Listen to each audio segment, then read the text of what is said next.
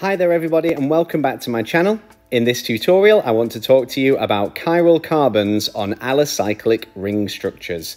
More and more in the A-level examinations we've started to notice that exam boards are giving you quite large organic structures and asking you to determine the number of chiral carbons or chiral centres distributed across the structure. And very often, these large structures contain alicyclic rings. And you can have a chiral carbon on an alicyclic ring, you just need to meet a certain set of criteria, and you also need to be careful because lots of them are presented in skeletal formula.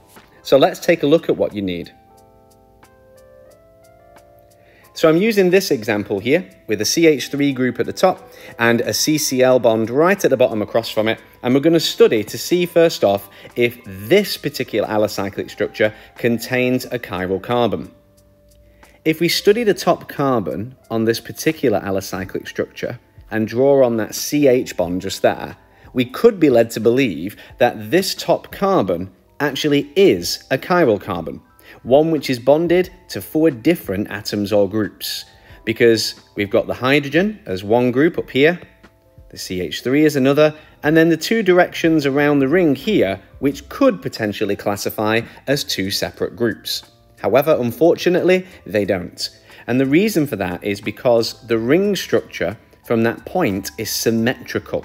And so going around this side is exactly the same as going around this side and so we don't classify those two directions as two different groups.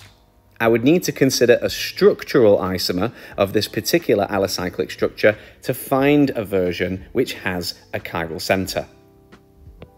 That can be quite easily achieved though if I pinch off this CCl bond just here and move it to the side, then actually now what I've done is if I go from this carbon at the top like before and go down this way and down this way, I encounter two completely different sets of bonding because this CCl group is now causing for my ring structure to be unsymmetrical.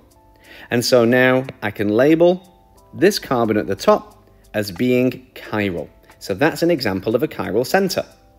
Furthermore, if I was to now actually look at this carbon atom down here with the CCl on it, I've got a group here second, a third if I go around this way because it's unsymmetrical, and that way I also appear to have a chiral center, a chiral carbon if you will, in that position on the alicyclic structure as well.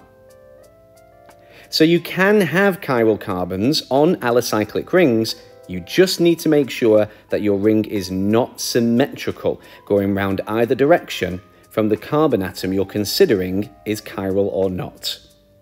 Hopefully that gives you a bit more confidence in tackling these questions in examinations.